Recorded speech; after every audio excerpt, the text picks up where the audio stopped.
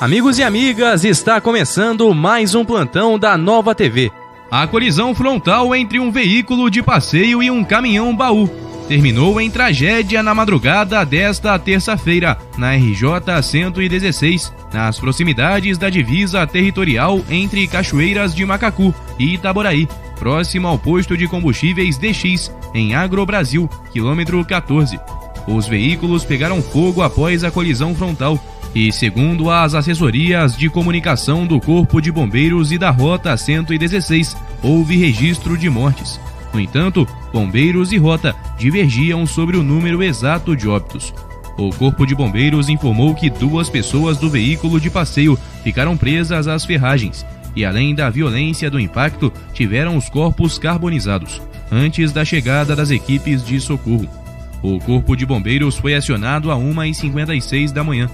O motorista do caminhão, ainda segundo os bombeiros, não teria sofrido ferimentos graves.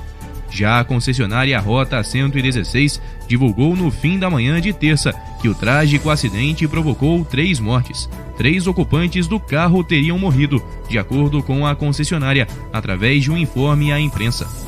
Aspas. Dois corpos foram encontrados após as chamas serem debeladas. O terceiro corpo foi encontrado também no veículo de passeio durante a manhã, às 8h40.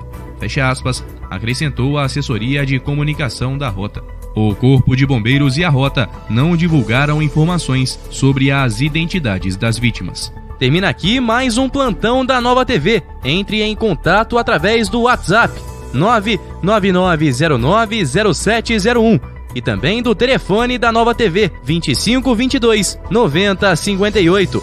Para mais informações, acesse o nosso site novatvfriburgo.com.br.